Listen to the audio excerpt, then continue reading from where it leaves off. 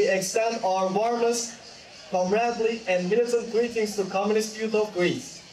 We would like to thank the Central Committee of Communist Youth of Greece for their invitation to the 33rd Anti-Imperialist Camp of Kine. The struggle against imperialism, which is inseparable from the struggle against capitalism, remains as one of the most important tasks for the peoples of the world. Imperialism, together with its organizations, arms, political parties, and anti-popular policies, is dragging our world and our region into another war, forced migration, and destruction every day. As communists in every country, it is not only our historical duty to expose the lies of imperialists, their warmongering and policies of, of exploitation labeled under the guise of freedom, and to organize the working class against all this, but it is also an obligation for today. Εγώ δεν συμπαθήσω. Η υπεριαλιστική τρομοκρατική οργάνωση του ΝΑΤΟ, που είναι η παριθμόν ένα απειλή ασφαλείας για ολόκληρο τον κόσμο, έχει γίνει απειλή αντεπανάστασης, φτώχειας και πολέμου για τους λαούς του κόσμου. Το ΝΑΤΟ, από τότε που ιδρύθηκε, εργάζεται για να καταστέλει την εργατική τάξη με τους στρατιώτες, τις βάσεις, τις συμμορίες της μαφίας και τα ένοπλα και άοπλα πιόνια του, όπου και αν έχει ριζώσει, όπως και στη χώρα μας. Το ΝΑΤΟ βρίσκεται πίσω από τη διάλυση της Ιουγκοσλαβίας, την παράδοση της Λιβύης και του Ιράκ, στο χάος και το κάψιμο του Αφγανιστάν. Το ΝΑΤΟ γεννά μίσος και εχθρότητα μεταξύ των ανθρώπων και είναι υπεύθυνο για τη διάλυση των φιλιών μεταξύ των λαών. Τον σύνθημα του φετινού 23ου διημέρου της ΚΝΕ, αφιερωμένο στην 25η επέτειο του πολέμου στη Ιουγκοσλαβία, όχι στου πολέμου των υπεριαλιστών, η ελπίδα βρίσκεται στην πάλη των λαών, υποδηλώνει αυτήν ακριβώς την πραγματικότητα. Ο αγώνας της εργατικής τάξης εξασφάλισε την ειρηνική συνύπαρξη μεταξύ ανθρώπων διαφορετικών εθνικοτήτων μέσα σε μια ενιαία δημοκρατία, ενώ οι υπεριαλιστικοί πόλεμοι διέλυσαν την Ιουγκοσλαβία και δημιούργησαν εχθρικά κράτη. Φυσικά, η διάλυση της Ιουγκοσλαβίας δεν ήταν το μοναδικό σχέδιο του υπεριαλισμού στην περιοχή μας. Τα σχέδια του υπεριαλισμού στην περιοχή μας φάνηκαν ξεκάθαρα από τότε που η Τουρκία και η Ελλάδα έγιναν μέλη του ΝΑΤΟ. Οι αιματηρές επιθέσεις κατά της εργατικής τάξης των επαναστατών και των διανοουμένων, αλλά και τα στρατιωτικά πραξικοπήματα των δύο γειτονικών χωρών έγιναν από το ΝΑΤΟ.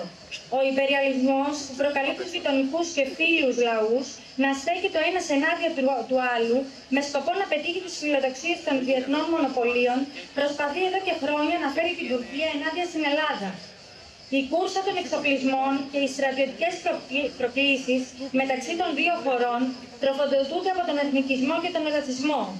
Με αυτόν τον τρόπο, οι αστικέ κυβερνήσεις νομιμοποιούν τα ταξικά τους συμφέροντα, δημιουργούν ψεύτικους εχθρούς στις δύσκολες περιόδους που διανύουν οι λαοί και παροτρύνουν τους λαούς της περιοχής μας να πάρουν μέρος σε ψεύτικες ευθυγραμμίσεις.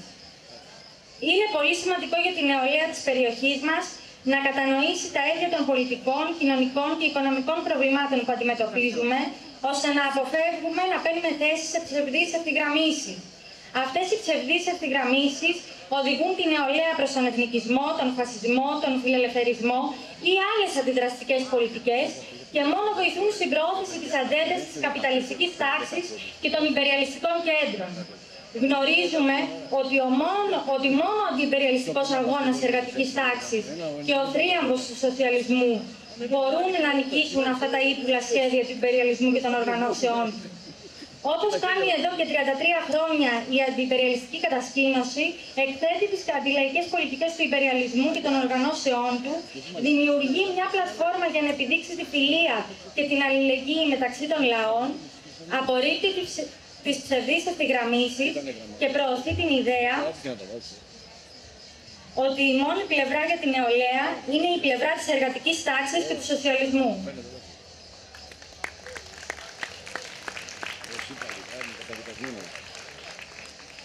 As it has been doing for 33 years, the anti-imperialist camp exposes the anti-popular policies of imperialism and its organizations creates a platform to showcase the friendship and solidarity between the peoples, rejects false alignments, and promotes that the only side for the youth is the side of the working class and socialism.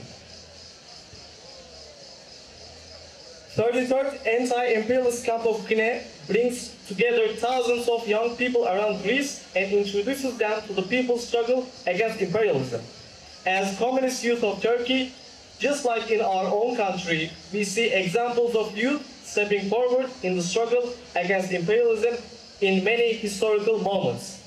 We salute the anti-imperialist camp, which has the task of carrying and advancing this legacy. With revolutionary greetings, Communist Youth of Turkey.